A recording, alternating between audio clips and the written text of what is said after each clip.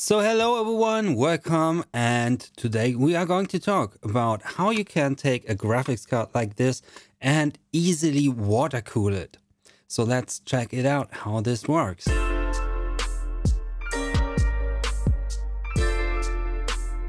So first of all, I want to say if you are to remove your cooler, your stock cooler, um, you are actually going to void your warranty. I'm not going to say you may void, you are going to. But considering you are using an older graphics card like I use here, uh, which is the uh, 1080 Ti, an older model, and I actually had a problem with it. So that's why I am going to replace the cooler. So why would you want to replace the cooler? For once, maybe because uh, obviously your cooler isn't powerful enough maybe it is that like mine so the issue with mine was that the fan control header didn't recognize the fan speed anymore, so it boosted to full blast all the time, which was super annoying.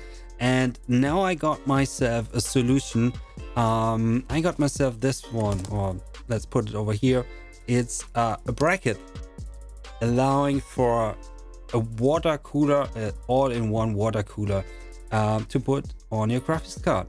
So that's what we're actually going to do today. And this is the Kraken G12, which is from NZXT, but you can mount different all-in-one coolers. And they also have this fan included to cool your VRM on the graphics card because you are losing the um, yeah, the passive heat pipes, but you can actively cool it with some airflow, which is nice. And yeah, now I'm going to put things together and show you a comparison in terms of yeah does it work? What are the temperatures? And so i have done this already but and i can say it's actually um, much better than i expected. But we will go over the results in terms of cooling performance and stuff uh, when i showed you how to put things together. And that's what we're going to do now. Put things together and then we'll check out the actual numbers on it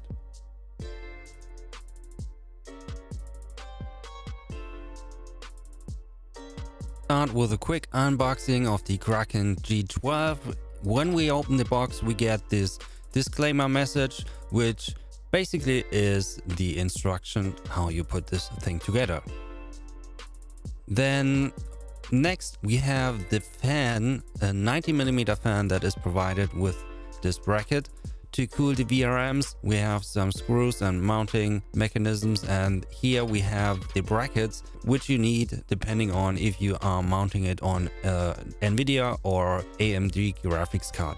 And then we have the shroud or the bracket which basically is just a way to mount the fan and the water pump housing that comes with all-in-one coolers. Before we get into mounting this, let me just quickly go over what we have here. We have my GTX 1080 Ti here, which is a blower fan style graphics card, which means the fan is turning and blowing through the card and we will put this mounting package on it. So let's have a quick look on the packaging or at the packaging. Obviously, it's from NZXT. They have a description how it is going to show in the case.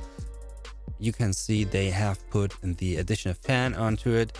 And also we can see which GPUs um, are supported and which liquid cooler, which means all the all-in-one coolers that are supported. It's not only NZXT's all-in-one coolers that you can use.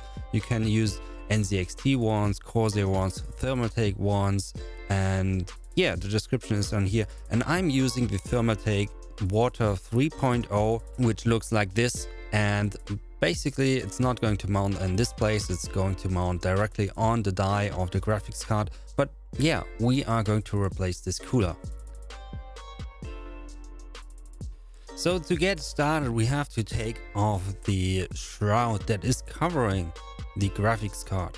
And for that, we are going to remove the screws that are all around the graphics card. So these are the three on the one side. Now we're going to take out the three on the opposite side.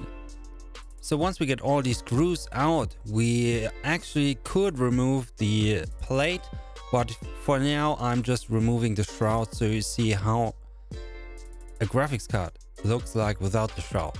And then we are going to take apart the front panel. Uh, some graphics card will have a removable front panel, others won't. So in our case, it's two screws on the front and then it's held down by these two screws, one that is actually mounted into the board and the second screw, oddly enough, is held in place with a tiny nut. So that's the nut and let's get the top plate off. So now on the front side we have the fan which is connected to the main frame. But what we can take off now is the main heat spreader that is cooling the actual die and it is contact with it. So on the back side again we have four screws holding down the heat spreader and we can lift off to remove the main heat spreader. So once that is done, we can actually proceed by removing all the other screws that are accessible from the backside and that is to remove the main frame which has a passive cooling function for all the components on the graphics card. Once we have removed all the screws we can proceed to removing the frame or taking off the PCB board, whichever way you prefer. But keep in mind, there are thermal pads applied to uh, transfer heat from the components to the frame and they basically glue this to the PCB. So be careful removing these and yeah. So in my case, I don't need the thermal pads to be stuck on the PCB because we are passively cooling it with a fan. So I'm going to remove that, put it on the frame and put the frame away. And so we have achieved our first goal, which is to strip down the PCB of the graphics card. Now we're going to clean off the old thermal paste that was applied. Um, just be careful around the die. There are tiny components which you could destroy when you push somewhere too hard. Just be careful. And yeah, I'm going not gonna have you watch me do this in real time. So uh, just be careful, clean it up and make it all pretty.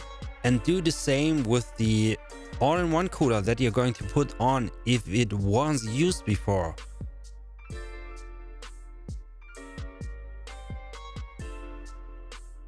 As a next step, we then have to take our mounting brackets that are included in the package either for the NVIDIA graphics card or the AMD graphics card and we attach them by mounting the screws from the backside into the PCB and once we have both of the brackets attached, we can continue putting on the main cooler. But first, we need to apply some thermal paste. I would suggest sticking with some high quality thermal paste. Put a decent amount on there on the die and then you can take the shroud, put your water pump in it and then put it on the graphics card it's going to slide around a little bit because there is not yet anything to hold it in place, but that is where the other screws are coming in. So these have springs on it to get more pressure onto the plate. Again, hold everything in place while you put in these screws.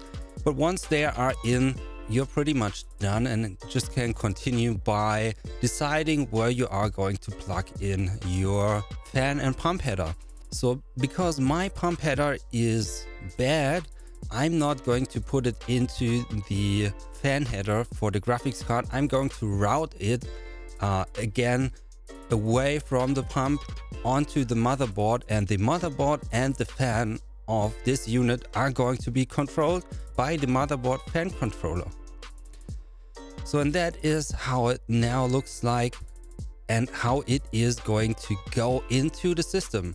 If you have a graphics card like I have, you will have to figure out a way how to attach the front mounting plate because mine was initially screwed into the main frame of the graphics card which isn't there anymore so I have to figure out a way how to make this work again. But as is, and if your graphics card has the front plate already attached, you can just take this component and stick it into your computer system. So that's how you can water cool a graphics card with your all-in-one cooler. I really hope you can make use of it and happy DIYing.